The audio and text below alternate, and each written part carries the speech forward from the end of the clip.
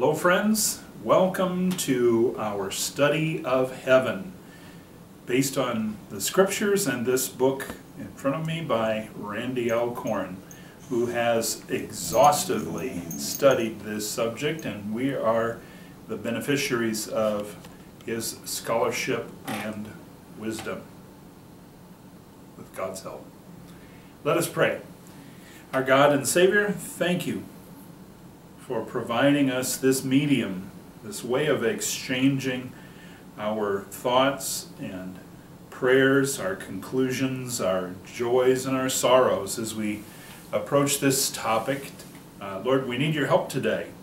We need your Spirit to guide our study, to guard our thoughts, and to draw us closer to you as we wrap up this particular study. Thank you, God, for your many, many kindnesses to us. We offer ourselves now in service to one another and in service to you. We pray in Jesus' name. Amen. So today we're going to do something new. Uh, we're going to take on three chapters. Um, we have only five left, which makes kind of an awkward mix. So um, we're going to take on the three chapters that remain in part two, questions and answers about heaven.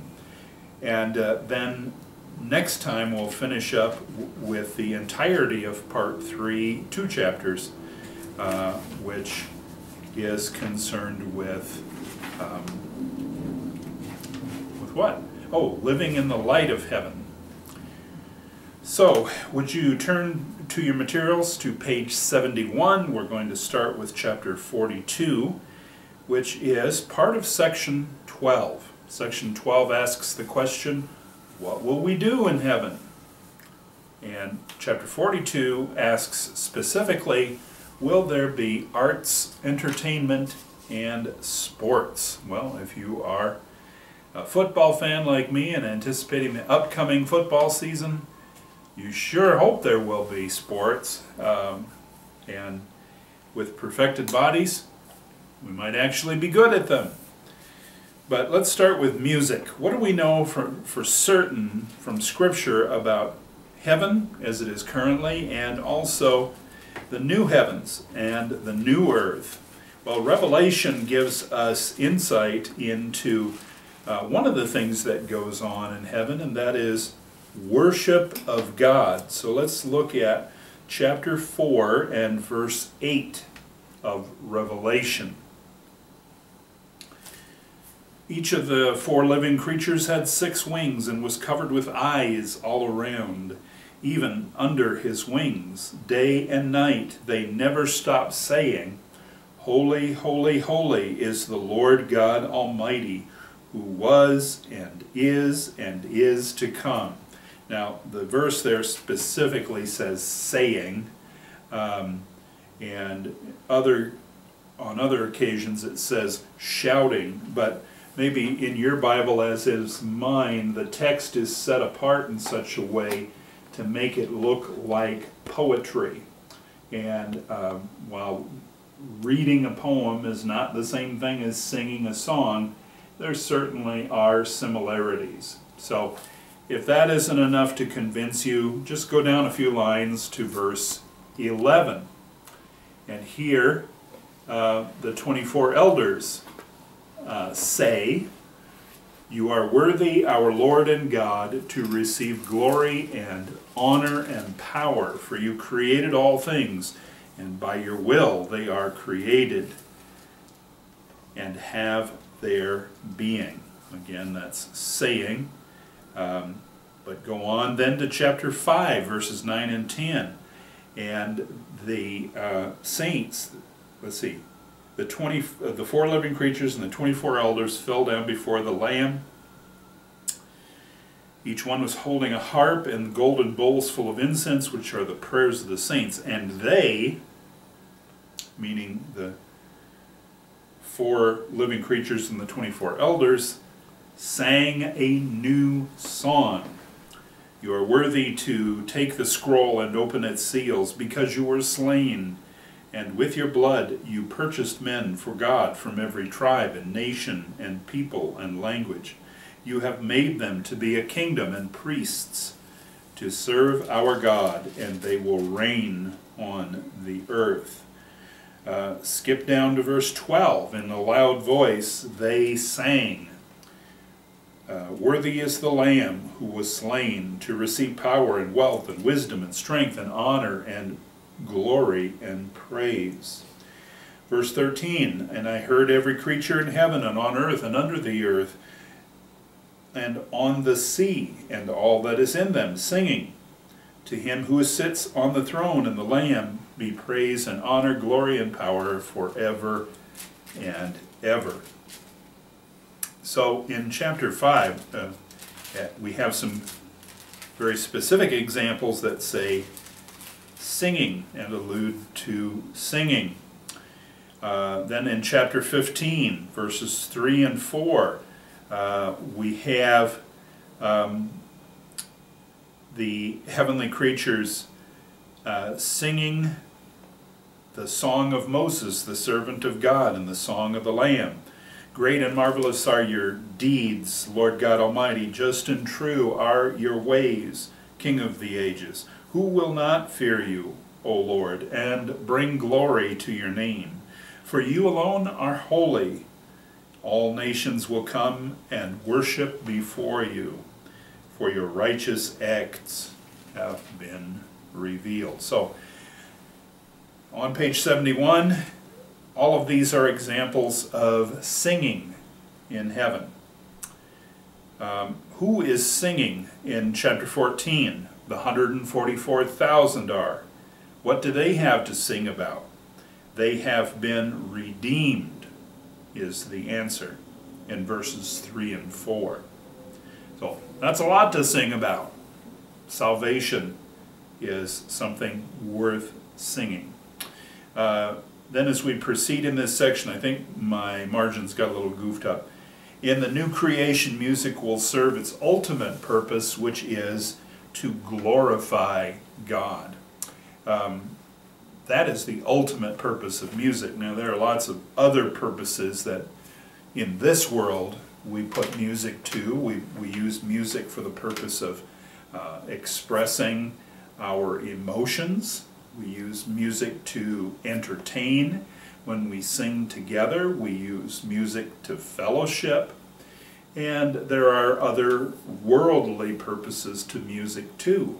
Um, last week had occasion to go to a concert um, in downtown Sioux Falls, and, and, while I enjoyed the concert a great deal, um, there was nothing in the music that was particularly glorifying to God. So music gives us joy and has lots of purposes, but its ultimate purpose, its most sanctified use, is worship and glorifying God.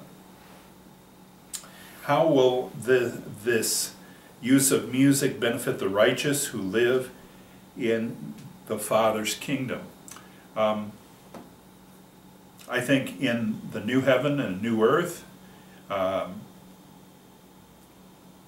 music will be used to glorify God and it will benefit us in the same way that worship glorifies us in this life. When we worship together, we direct our attention to God, we take it away from self, and um, it gives us uh, an opportunity to be together in fellowship. It causes enthusiasm. It gives us an expression or a means of uh, showing our gratitude to God and um, just uh, causes uh, enthusiasm, kind of binds us together. Um, so we can say with certainty, I think very high degree of certainty, there will be music in heaven. Music is an art. It is a form of entertainment. Not a sport per se, but certainly uh, fulfills those other two qualifications. Um, next, we say there may be dancing in heaven. Um,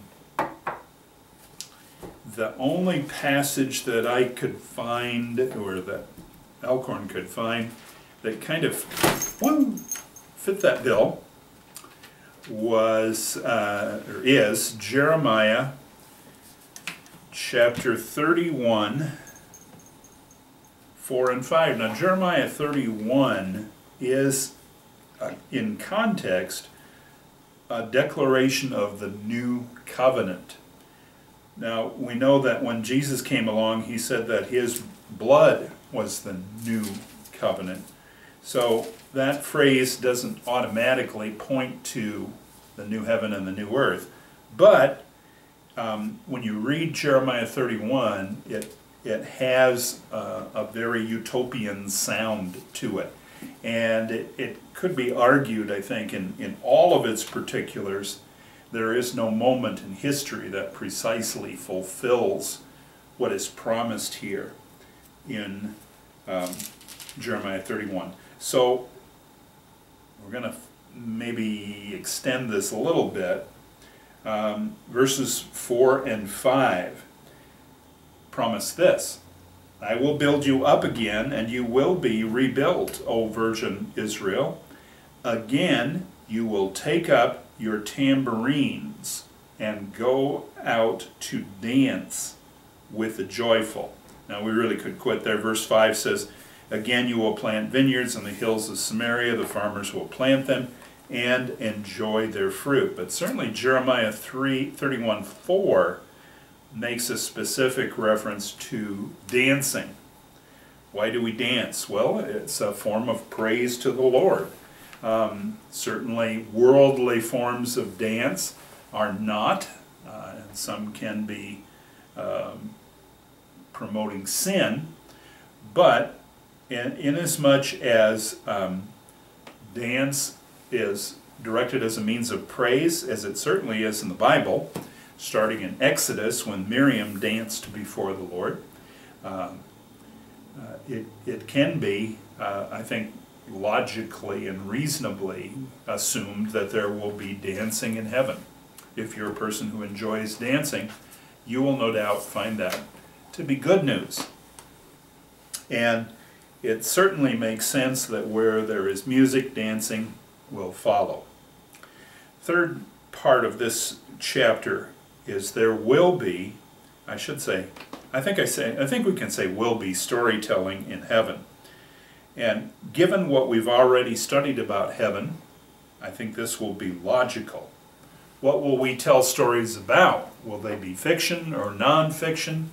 And um, I think, like music and like dancing, the stories will center on God. That's one thing we need to remember about the Bible in general. God is the hero of every story. Even in Esther, where the name God is not mentioned a single time, God is, is it is implied that God is the hero of that story, that he worked things out for the benefit of his people. Um,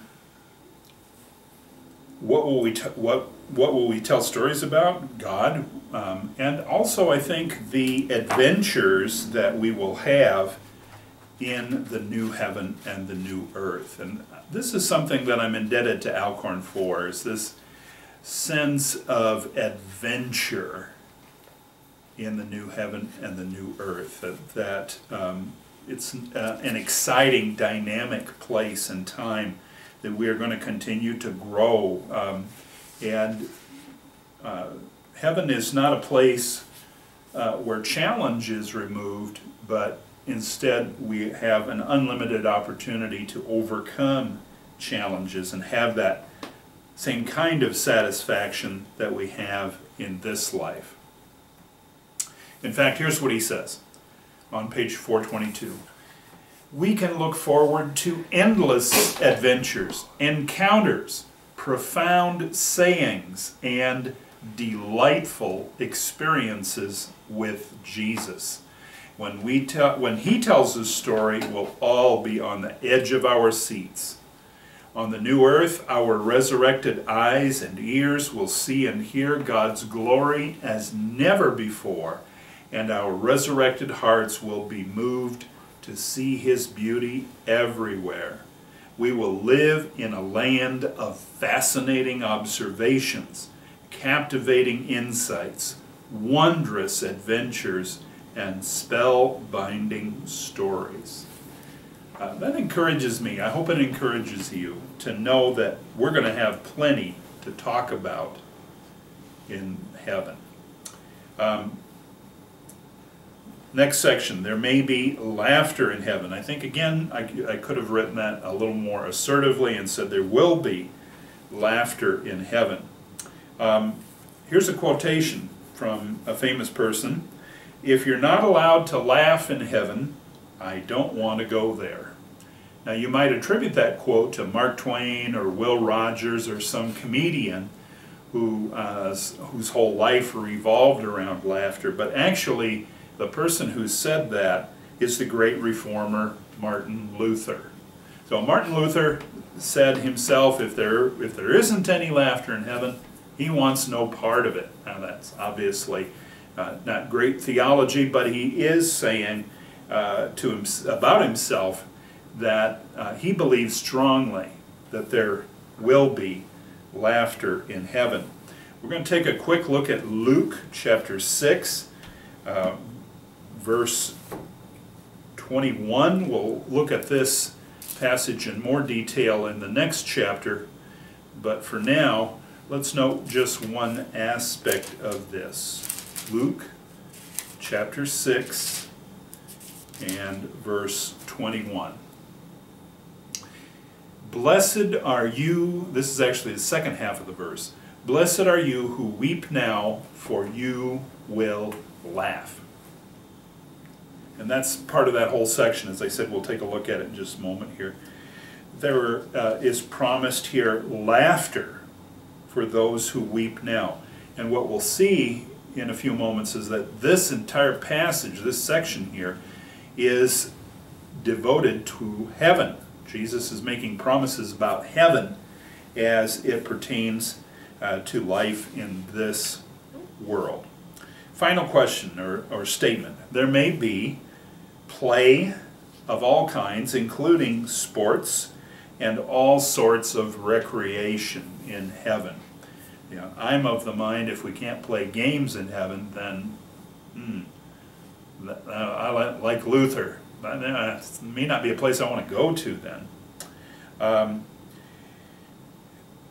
what scriptural evidence can we offer here? Well, not much. Paul, in his letters, twice referred to athletic events or sports as a metaphor of the Christian life. Now that is no in no way Paul endorsing all sports or saying that sports are always a, a godly thing, always a good thing. Um, but here we have the, um, we're in the place where we can say that there's, there's no direct scriptural accounts that, that say uh, you, you, you won't be playing games in heaven. You won't be in, uh, playing sports. You won't be doing uh, various kinds of amusements. But what it, we have learned uh, very repeatedly in this study is that heaven is a perfected form of things on this earth. And I can only liken it to my experience several years ago. I, I got involved with a group of guys and um, we um, played games together on um, uh, every other week or once a month basis. And when I first got together with that group of guys, um, the experience was a little too intense. I was coming home with a headache, and, and although I enjoyed the time, it, it just seemed to take a lot out of me. And, and what God revealed to me was, we, you're just trying too hard to win.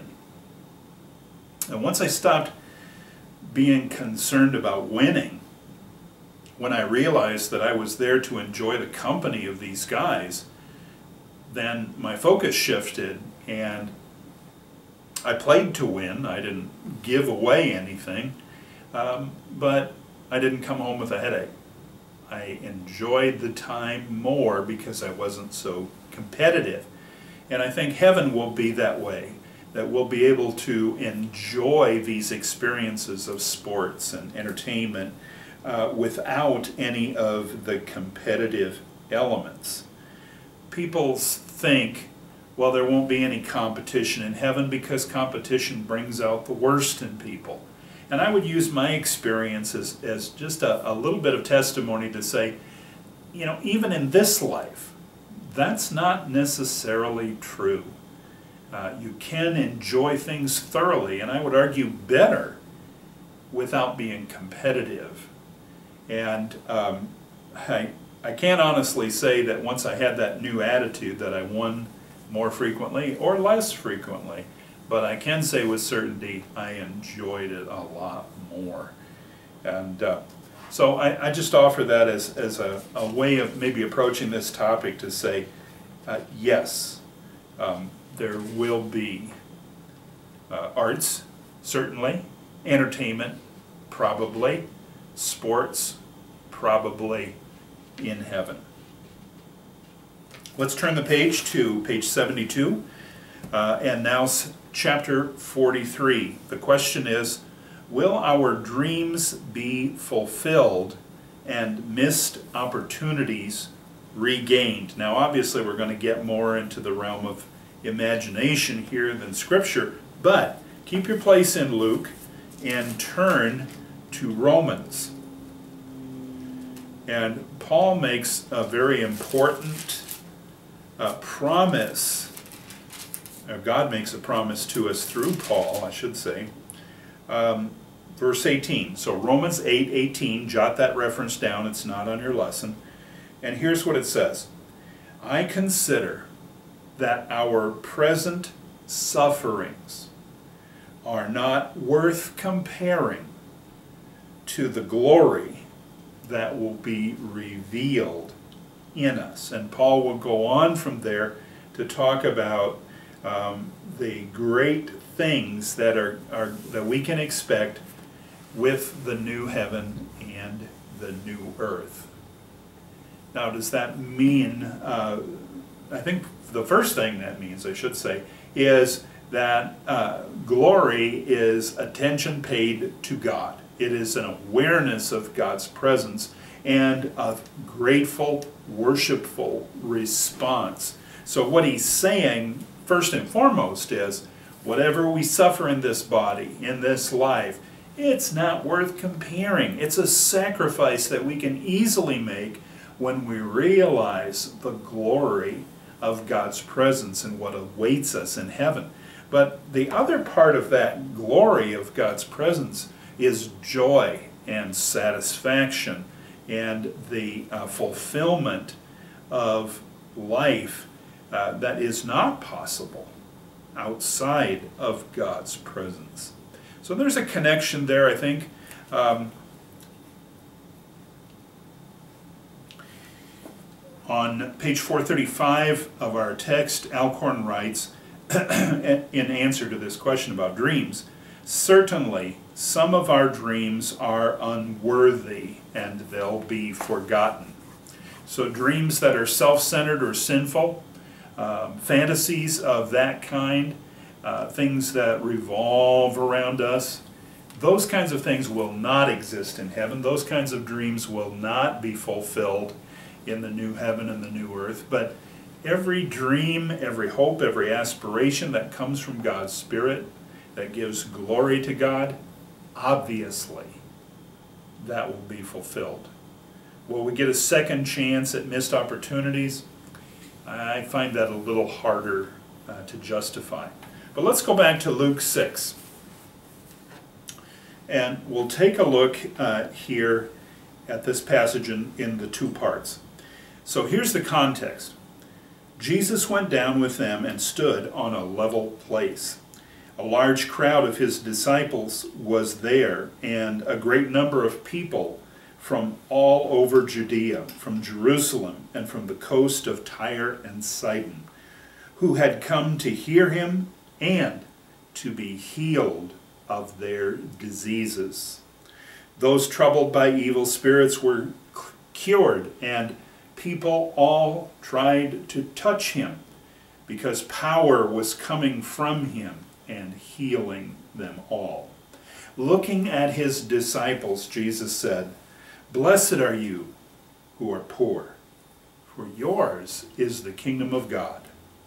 Blessed are you who hunger now, for you will be satisfied. Blessed are you who weep now, for you will laugh. Blessed are you when men hate you, when they exclude you and insult you, and reject your name as evil because of the Son of Man.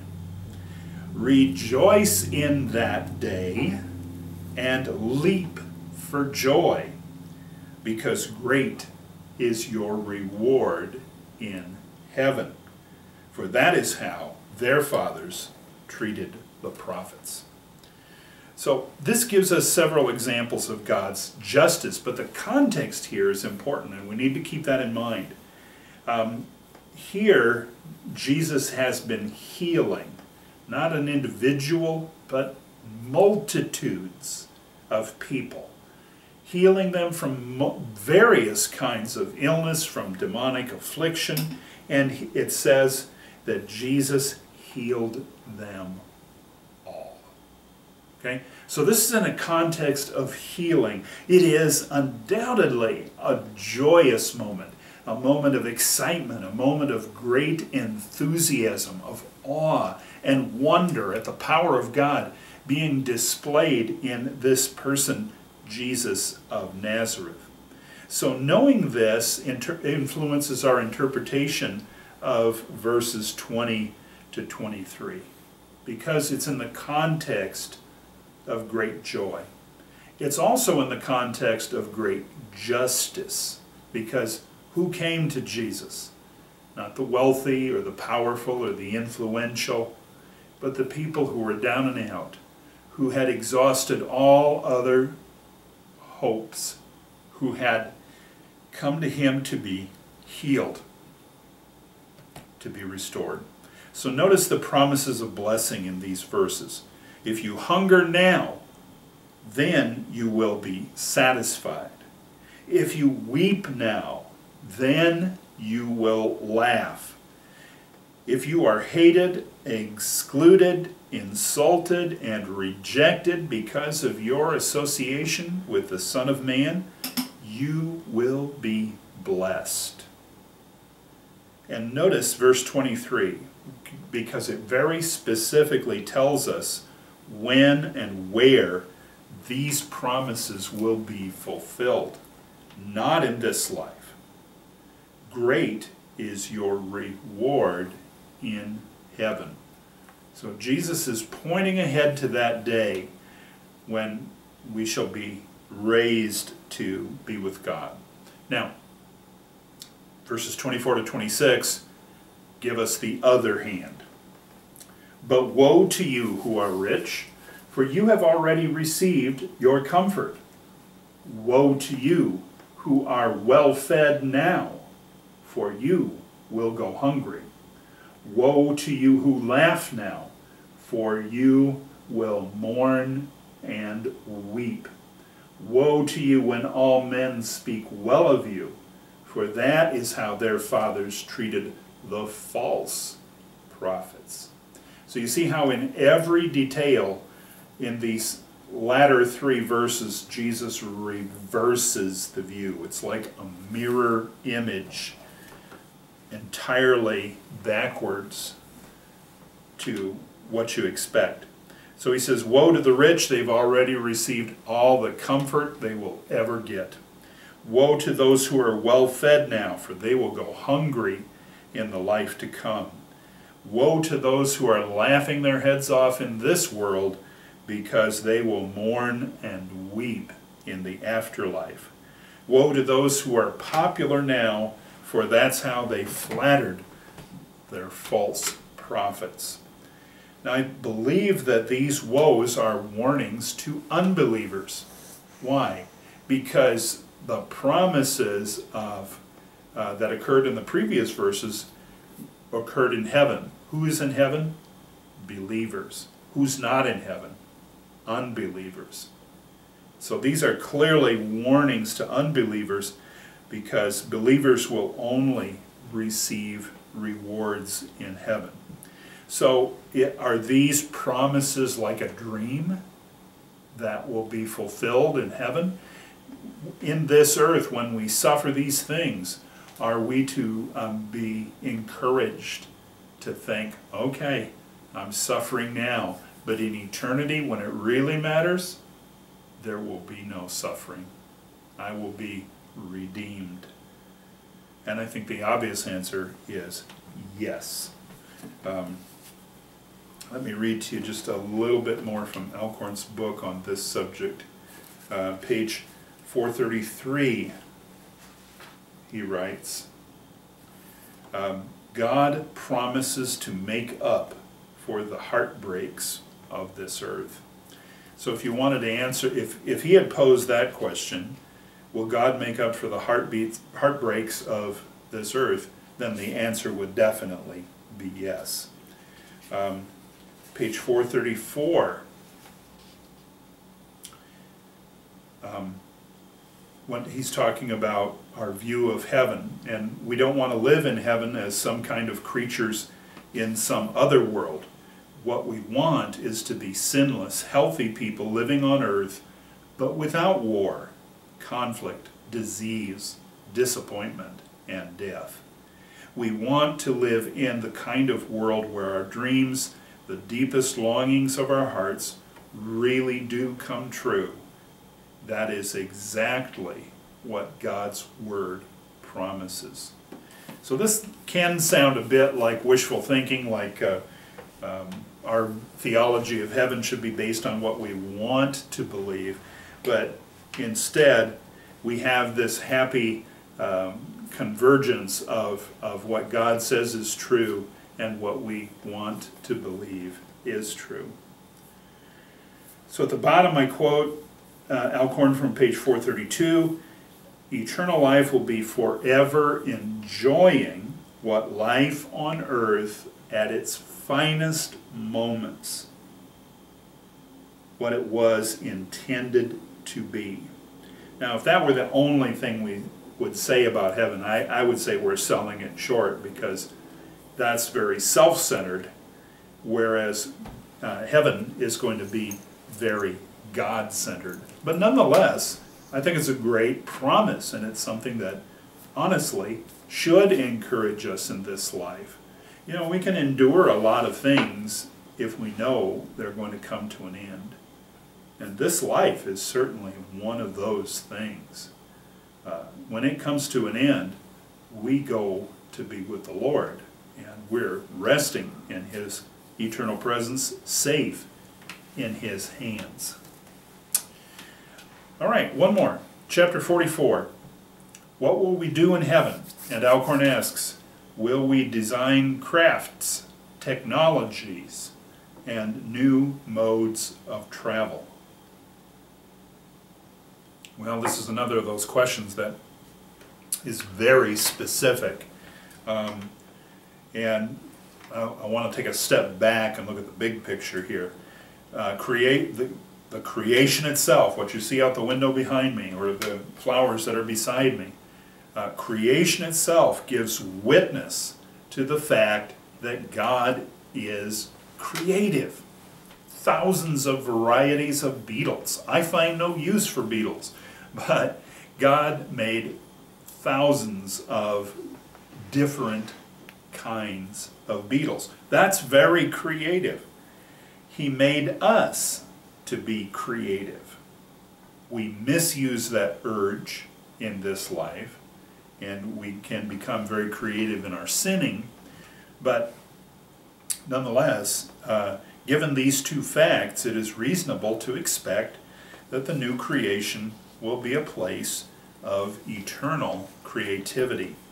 Let's look at an example of human creativity that God empowered in the book of Exodus, chapter 35. Now, I teach that, on the basis of this passage, that um, craftsmanship is a spiritual gift, though Paul does not include it in his mention of spiritual gifts in the New Testament. Notice what it says here in Exodus uh, 35, starting with verse 30. Then Moses said to the Israelites, See, The Lord has chosen Bezalel, son of Uri, the son of Hur, of the tribe of Judah. And he has filled him with the Spirit of God. Notice that word, or that, that phrase, filled him with the Spirit of God. With skill, ability, and knowledge in all kinds of crafts to make artistic designs for work in gold, silver, and bronze, to cut and set stones, to work in wood, and engage in all kinds of, get this, artistic craftsmanship. And he has given both him and Oholiab, son of Ahisamach, of the tribe of Dan, the ability to teach others. He has filled them with skill to do all kinds of work as craftsmen, designers, embroiderers in blue, purple, and scarlet yarn, and in fine linen, and weavers, all of them, master craftsmen and designers. And so these two gentlemen led the effort to construct the tabernacle according to God's specifications. So, what did God give them? Skill, ability, knowledge in all kinds of crafts to design and make articles of artistic craftsmanship. That is proof positive that God gives creativity, that God has designed us to be creative people. Not all of us will be crafty, not all of us will be artistic, but we have this desire within us to create. It is godly to create. It is satanic to destroy. And in, in that general sense um, of um, creating and destroying. So Alcorn uses this general theological observation as a jumping off point for exercising his spiritual imagination. So in this chapter, I'm, I'm quoting from Alcorn for the most part and just wondering what you think. Um, so very quickly we'll go through these. Um, Alcorn says, I believe we will see trade and business in heaven, though not all for the same reasons, not for all the same reasons we engage in them now. Well, what do we engage in business and trade for? Sometimes for greed, sometimes for pride, um, but more importantly, we should be doing it for God's glory, to provide sustenance for ourselves and our families, and for the joy of work, the joy of work well done, and effort put into a good end. Next quote, technology is a God-given aspect of human capability that enables us to fulfill his command to exercise dominion. I've got to say that was a refreshing and new take for me about technology because we often want to separate science and the Bible. So we end up separating faith and technology. And I, I think that's a mistake. Alcorn is, is calling us to, to reintegrate these things. Now, you can say it's God-given, and I, I think that, like the spiritual gift of craftsmanship, uh, there is a creativity that is accomplished in technology. And if we didn't have technology, you and I would not be engaged in this study right now, would we? So God bless the people that invent this technology and the people who use it for His glory. Of course, we know that not all technology is used for God's glory, and we know that not all technology is based on faith. Much of it is based on atheistic assumptions and uh, worldviews. And, and much of it is produced for the sake of greed or pride, just like any other business or trade. Next quote, remember, the new earth isn't a return to Eden in the sense of abandoning culture, including inventions, transportation, and technology. It's a resurrected earth with resurrected people who have better brains and will be capable of better inventions. I, I found that quote interesting because I think there are some people in our culture who at least claim to be green and uh, would and profess that they would like to return to uh, a, a, simpler, more agrarian kind of lifestyle. However, you rarely find anybody that actually does that. Um, people uh, who in, espouse environmental causes in particular um, seem to want to throw us back to the Stone Age, but they don't live that way. Um, but here I think uh, the, the thing I want to affirm is that uh, we will have unlimited opportunity, we will have unlimited resource in heaven, and when you put all of those things together, uh, it makes sense that we will invent things. And that they will be based on truth and will be used to glorify God. Final quote.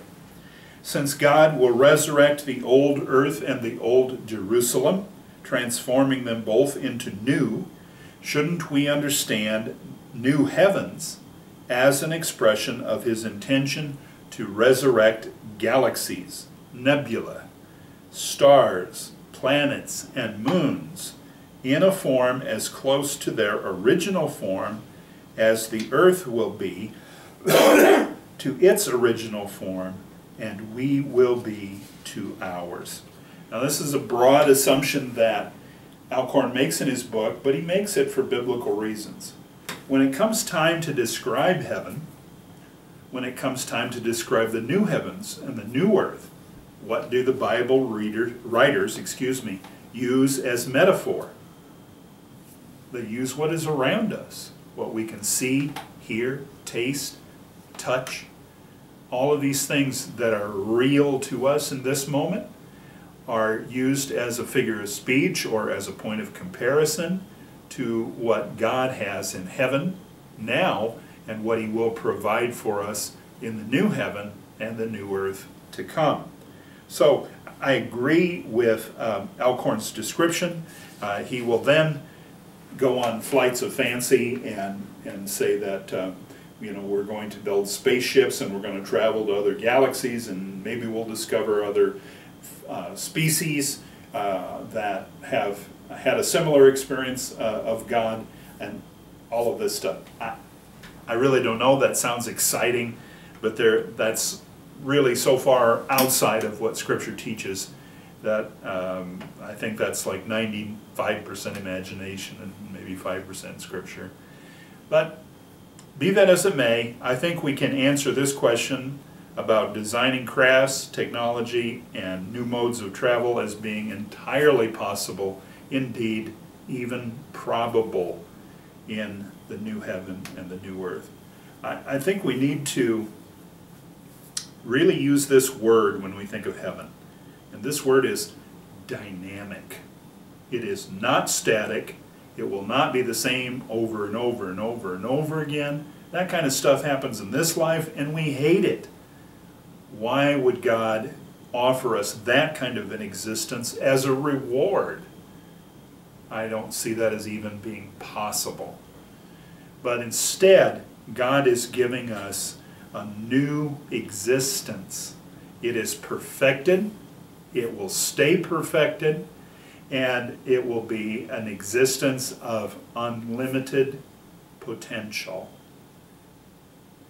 unlimited time, unlimited opportunity, unlimited partnerships. Given that, I think we should be very excited about the dynamic situation that heaven presents to us. I want to thank you for giving me some extra time today. When we get together next time, we will conclude this study of heaven. Uh, I have uh, received some input about what to do next, and that is to tackle the Psalms. Um, and I've been giving that a lot of thought and prayer. If you have other suggestions of things that you would like to study, uh, that you would like to continue with, um, what I'd like to do is, is conclude this at the beginning of September, take the remainder of the month to get something new up and out to you, and um, see what God will do as we continue to meet online to do these Bible studies. But I, I certainly am interested in hearing from you about what you are interested in, what you think or feel like God is leading us to do. How can we best follow up on this study of heaven? That will be the subject of our next gathering. Until then, God keep you in His hand.